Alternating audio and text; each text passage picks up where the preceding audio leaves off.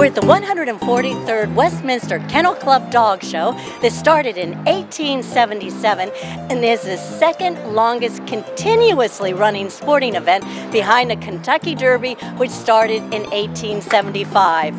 It predates the automobile, radio, television, and airplanes.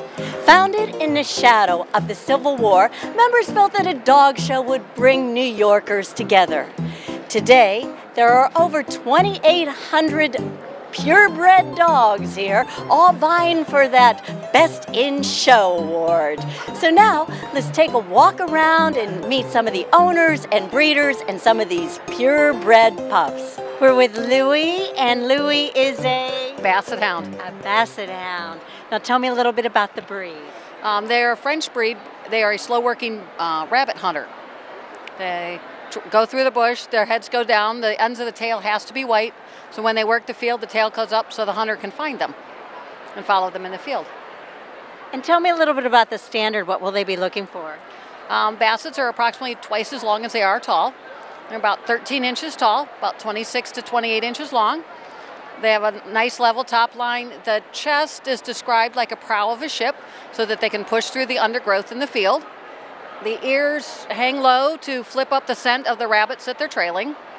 And they should oh, have a strong head. They have a, their nose is only second behind the bloodhound. And uh, tell me about grooming. Do they shed? Yes, quite quite a bit. It's, it's everywhere, um, and their skin is a actually a little yeastier than most breeds of dogs, so frequent bathing. Um, because their ears fold in, they don't get air down in their ears, so constant ear cleaning. Oh, really? Uh, constant ear Constant cleaning. ear. I try to do his ears every day because they just, and then when we're just hanging out, we flip them open so that they can actually get some air down in there. But in the field, they're nice and tight so that they don't get splashes of water up inside. And, and, and how, as, as far as a family dog? Oh, they love children. Uh, they're not the most obedient dogs in the world. They were bred to use their own mind working in a field. So they're not always willing to listen.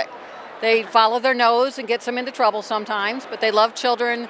They're a pack animal breed, so they're working used to working in large groups. So they play well with other breeds.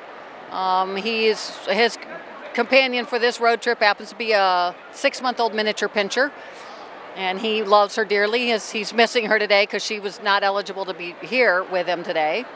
But he plays well with others. And how far did you come? Um, I live 40 miles east of Cleveland in Ohio.